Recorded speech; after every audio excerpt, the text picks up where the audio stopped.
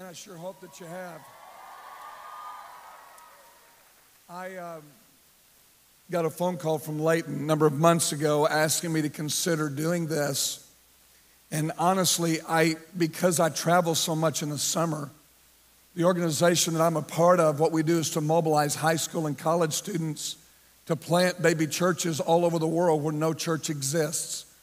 85% of the world today, they, they walk to church.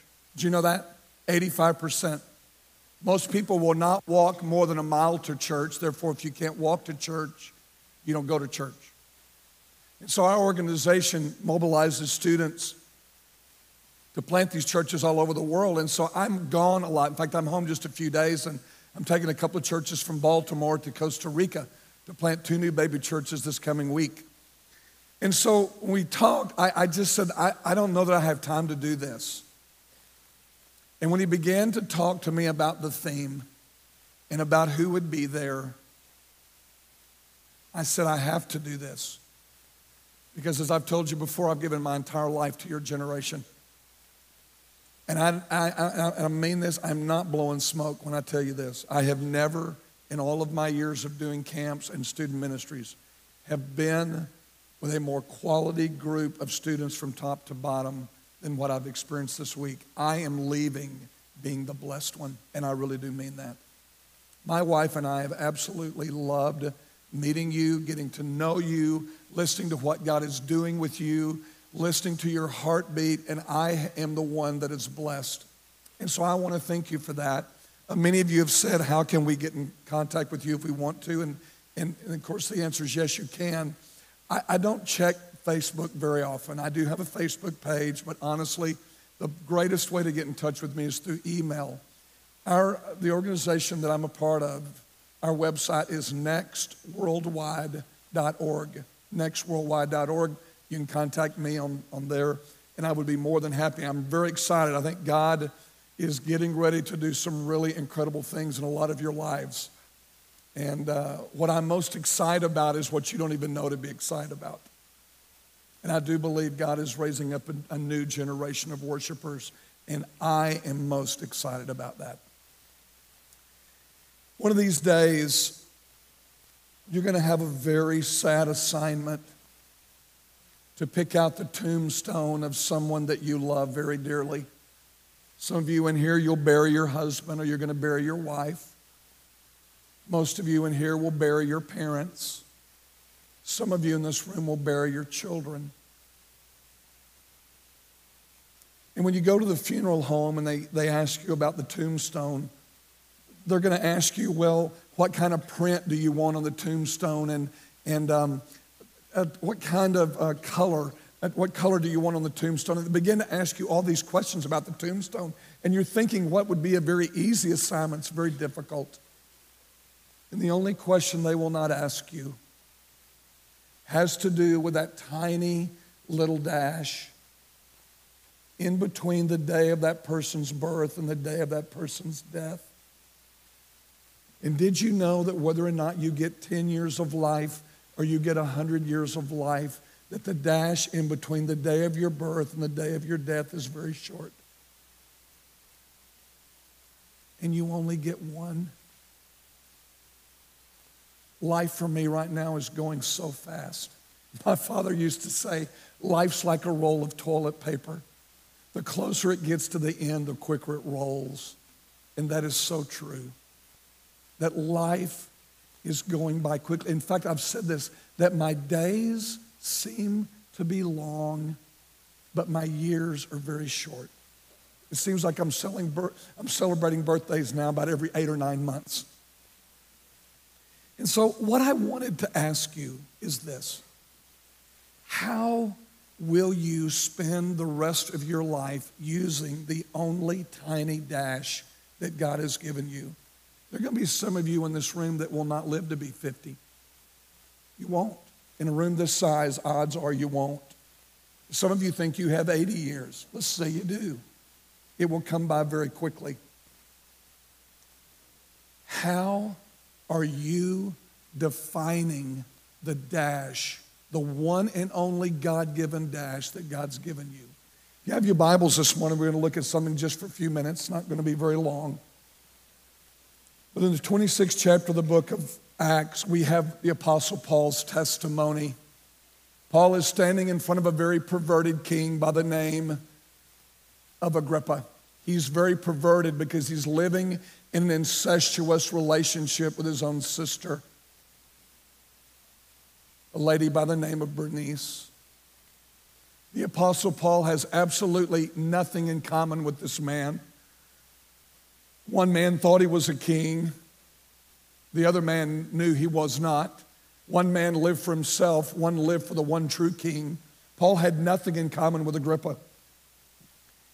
And yet, Paul's passion for Agrippa was the same as it was for all men that King Agrippa would one day bow his knee and worship the true God who created him. That was his passion. So, you know what he did? He shared his testimony.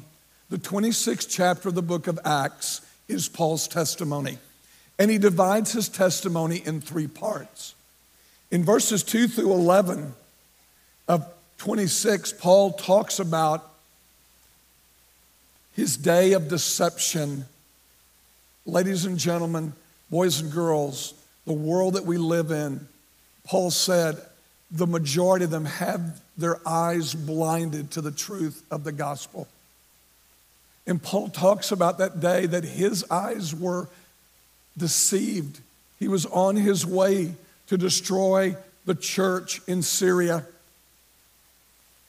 And then he talks about his day of deliverance when God knocked him off his horse. He blinded him physically, temporarily, for a period of time, and began to make himself known to the Apostle Paul. But listen to this. This is where I want you to focus this morning. I want you to look at verse 19 or verse 16. Because in verses 16 to 18, Paul describes for Agrippa his day of definition. This is very important. Absolutely very important. And, and, I do believe, because I believe some of you have told me this this week, I believe this week has been a defining moment for many of you. I think God's revealing some things to you that you were unaware of before the week. And so, in these few verses, these three verses, Paul declares for Agrippa the purpose for which God redeemed him. So, I want you to look at it with me. He said, Jesus spoke to me, and he says, starting with verse 16, Paul, get up and stand on your feet. Ladies and gentlemen, our churches today are absolutely filled to the brim, and, it's, and, and we're the one modeling this for you as adults. The churches are filled today with people who are sitting and soaking and are souring. God is looking for a generation of people who are standing and serving a living God. Because remember what I've been saying all week that the God who created you is a God of movement. Well, if you're going to move, you're going to have to stand. And so he gives him these words. He said, Paul, I want you to get up, stand to your feet, and look at what he says. I have appeared to you to appoint you. What have we said all week long? God never appears except to appoint. If God has allowed you this week to discover a little bit more about who He is, if God has used Super Summer to develop you in your Christian walk, which I know that it has, then please understand that the next step for you as you get older is your deployment. Your time has not yet come, but your time is quickly coming. I said this to you earlier this week. God is getting ready to take off your training wheels. You guys are getting ready to leave boy land and girl land and inner man land and woman land. Now, I love that land, but it's a dangerous land. The consequences of your decisions can be devastating. So please understand that if God has appeared to you, it is to appoint you to a very specific task. And here it was for Paul. He said, Paul, I've appeared to you to appoint you a minister.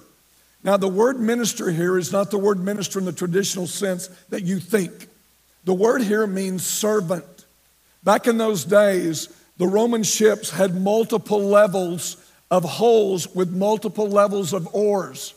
And the lowest form of servant on that ship was the under rower. Now listen to this, this is horrible. I, I can't even imagine men being forced to live like this. But these men sat all day long. They could never get up to go to the bathroom, and either could the men on the floors above them. And so, what happened is that on the upper two floors, there would just be holes in the ground, and all of human waste would literally go to the very bottom of the ship where the under rower was. It was horrible.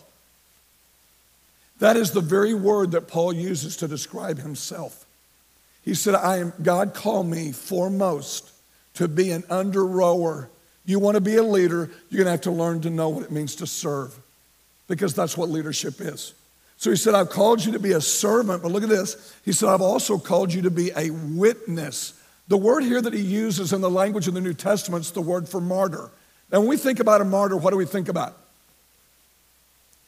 Yeah, somebody that dies for their faith, but listen to me. You can be a martyr and not die for your faith because the word martyr literally means someone that testifies to what they see and hear. So you can testify of what you see and hear without ha- literally having to lay down your life for the gospel. This is what I want you to understand. You define your dash when you give your life to declaring the glory of God. Did you know that less than 5% of evangelical Christians will ever lead someone to Christ in their lifetime? You see, we don't declare what we do not delight in. And if you're leaving this week without a delight for God and the things of God, I would go home and draw a circle around yourself and say, Oh God, I'm not leaving here until you begin to set my heart on fire for you. Help me to understand that I was created for you. We started the week, and I told you the story as a little boy about being handed a paintbrush and how I began painting the door that my father had commanded me to paint, only to find out it was so difficult. And so I moved to painting three windows on the very front of my home. And I told you how absolutely ticked off my daddy was because I had done the very thing that my father had not commanded me to do. Dear student, I do not want to get to the end of my life, my only one God given life, and have my father say, You spent your days painting windows when I commanded you to paint this door. To love God, to love this world, to pursue His holiness, to pursue His glory for the purpose of reflecting it to the world. That is your assignment. Anything else, anything else is wood, hand, stubble. I met a really sharp young man yesterday. He said, Mr. Samuels, is it possible if I make the NBA that I could glorify God? I said, Oh, absolutely. Look at Jeremy Lin. You can take any career and use it to advance the kingdom of God. The only question is, will you? Let's pray.